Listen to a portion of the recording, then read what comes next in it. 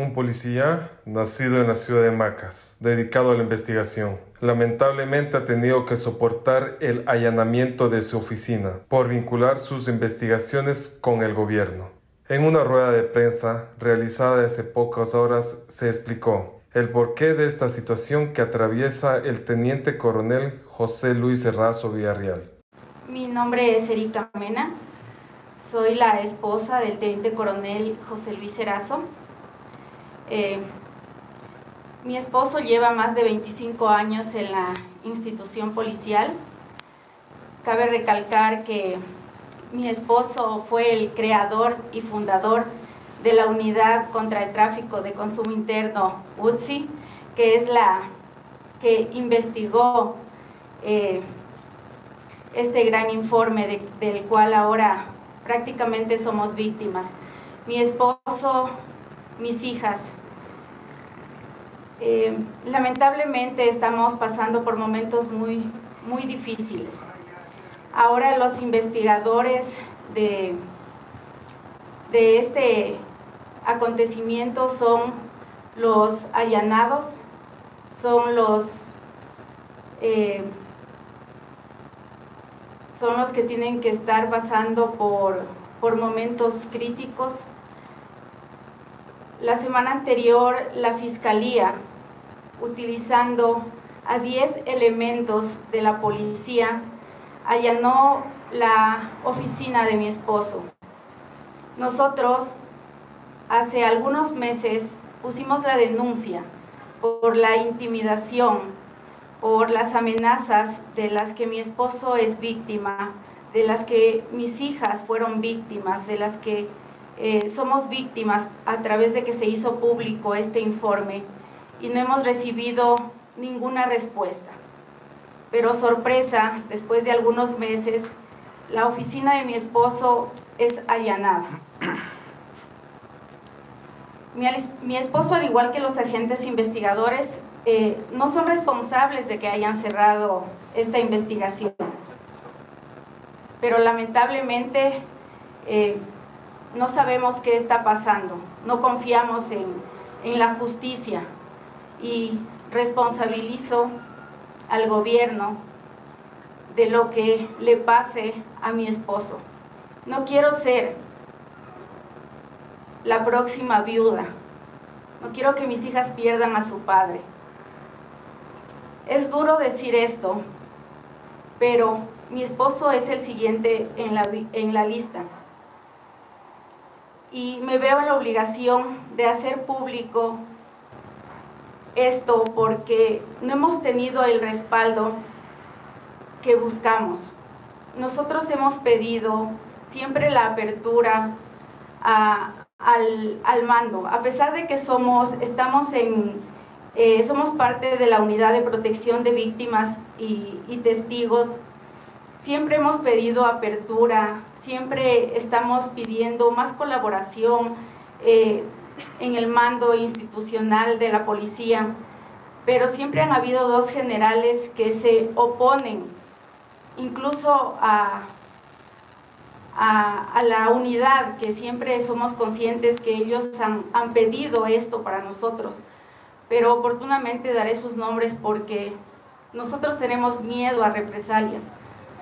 Eh, soy consciente de que esto es muy, muy, muy peligroso, pero no podía dejar pasar por alto. Es la vida de mi esposo, es la vida de mi familia. Y estoy luchando por precautelar la vida de, de ellos. No pertenezco a ningún partido, no estoy haciendo nada de campaña. Simplemente estoy velando por la seguridad de mi esposo, de mi familia. En Macas, el arquitecto John Errazo, hermano del teniente coronel José Luis Errazo Villarreal, expresó su preocupación porque considera que su hermano y su familia están casi desprotegidos, aún de la misma institución.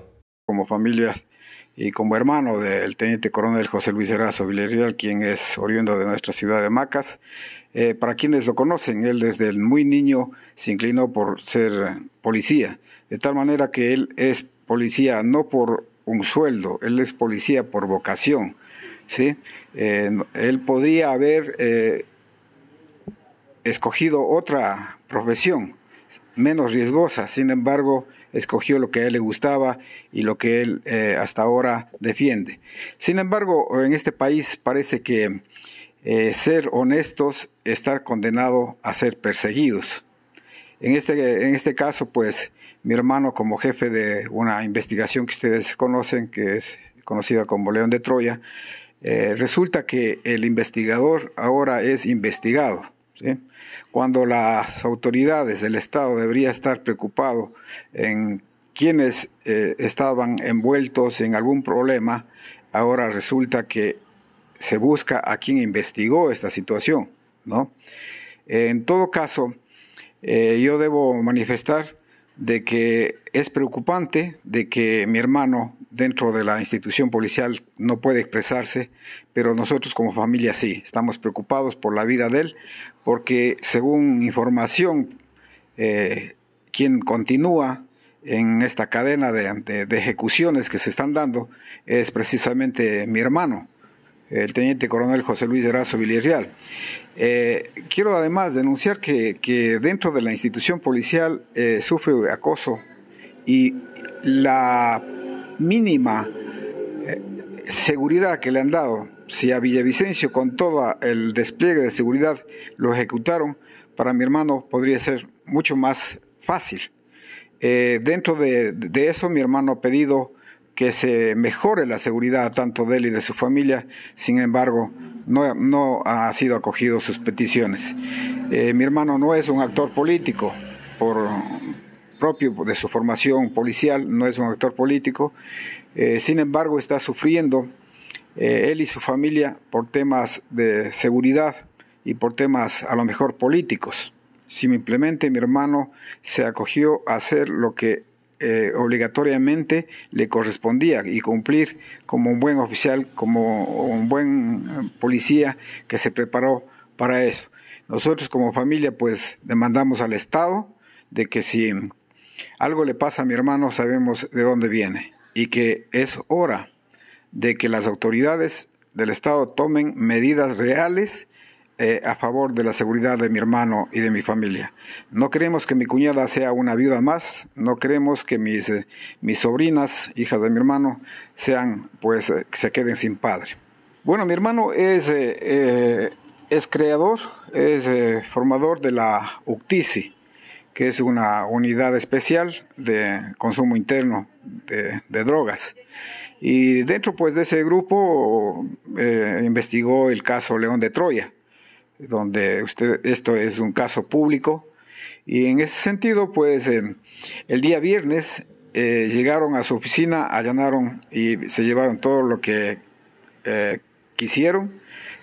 no sé con qué finalidad, porque actúan como que si fuera un delincuente, y en eso sí quiero ser claro, de pronto alguien vaya a decir mi hermano debe estar metido en algún problema. No, es por ser honesto, ¿sí? Por haber cumplido su función. Por eso es la persecución y, bueno, eh, esperemos que no llegue a más, esperemos que no tengamos que lamentar más adelante algún acto que nos apene y que tengamos que culpar al Estado ecuatoriano. En este momento estamos viviendo esa persecución para mi hermano, ¿no? Y el gobierno es el gobierno actual, el Estado actual, incluido Fiscalía, instituciones policiales.